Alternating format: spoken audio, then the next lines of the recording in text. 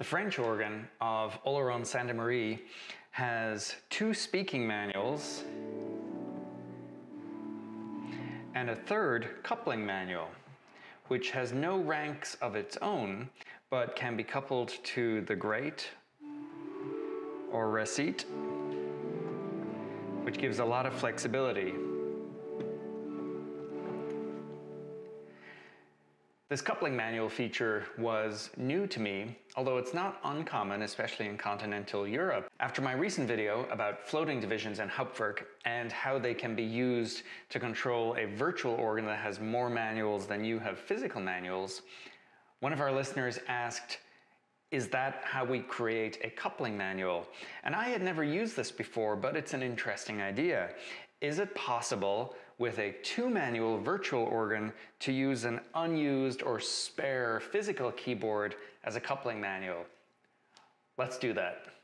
Here, for example, is Svante Lübke, a versatile romantic two manual organ, but I have three manuals. So anybody who's played around with this knows that in Hauptwerk it's possible to control more than one virtual keyboard using a single physical keyboard using auto-detect. And I will sometimes do that with a four manual organ where this is the choir and solo division. But doing that in reverse isn't quite straightforward, but it's also not difficult. So the first thing I'm going to do is clear my default mapping for both of these manuals. And the upper manual, I'm going to auto detect as per normal the lower manual I'm going to put as my great, auto detect as per normal. However, for this third manual, there's nothing to auto detect. So right click on either manual and go to adjust MIDI trigger settings manually. And on this dialog, you'll notice we have the primary input, which we have already auto detected for both of these keyboards. But if we click on the first one, and go to input 2. This is currently disabled.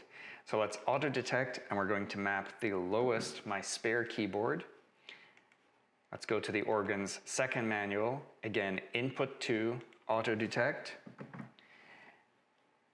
Hauptwerk will warn us you are already controlling another keyboard with this. Are you sure you want to do this? Okay. So what have we just done? My upper keyboard is controlling the upper keyboard, my middle keyboard is controlling the lower, and my bottom one is now controlling both. So I've created a one-to-one -one coupling manual. So here's an interesting example of why this might be useful. I have a registration drawn on the great. I have a registration drawn on the swell. I've engaged the super octave coupler on the swell, but not coupled that through to the great and I'm going to let my coupling manual take care of all of that. So we get the effect of engaging and disengaging that coupler, and we have something like this.